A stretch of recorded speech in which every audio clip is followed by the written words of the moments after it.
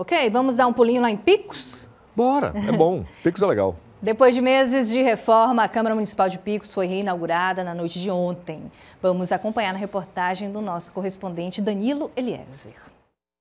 Uma multidão se reuniu na noite de quinta-feira na solenidade de inauguração da reforma e ampliação do plenário vereador Pedro Barbosa da Silva.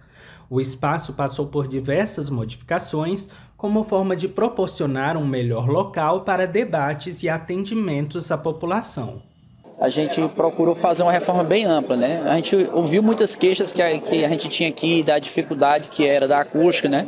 Que o som era muito difícil de se ouvir, da organização, da má conservação que tinha, né? Ou seja, é praticamente só uma sala. Não parecia bem um plenário do Poder Legislativo. Então a gente fez toda essa transformação, fez um projeto de acústico, projeto de arquitetura interna e externa, é, a parte de iluminação, parte de, até de, de, de, refrigeração. Então fizemos um projeto bem bonito, né, para trazer também conforto lá para para o plenário, onde a população consiga chegar, que até as cadeiras eram mal conservadas, não tinha nenhuma espécie de, de estofamento nem nada. Então foi isso que a gente quis fazer. A gente quis fazer algo pensando desde o vereador, a população, aos servidores. E foi isso que a gente quis entregar aqui para a população. O evento reuniu líderes políticos da situação e oposição, que prestigiaram o novo espaço.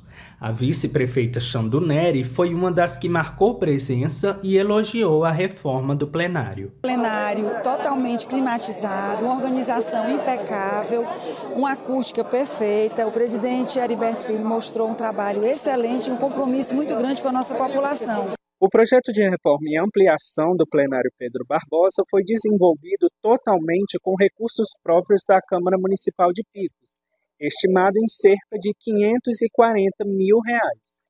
Depois dessa reforma que nós tínhamos pensado na mesa diretora para dar um conforto melhor aos vereadores, os funcionários e também a população que vem nos visitar, foi de grande importância. Todos esses recursos foram exclusivamente recurso próprio da Câmara. Quer dizer, foi analisado, projetado, é, o presidente se organizou e aí fez esse investimento de mais de meio milhão de reais com recurso próprio do, da, da Câmara Municipal de Picos. Pois é, Picos, dos vereadores e os cidadãos ganham agora um novo espaço, mas Vamos aproveitar que estamos falando dessa reinauguração desse espaço. Eu notei ali a presença de pré-candidato, né?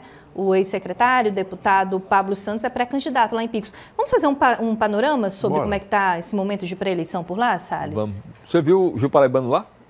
Não, Também não identifiquei. Não vi. Mas pois vi é. a vice. Tem alguma coisa estranha, mas você viu a vice, né? Vi, vi a vice, foi entrevistado pelo Danilo. Pois bem, ela, ela é irmã do deputado Nerinho e vai ser vice de novo pelo menos se nada mudar.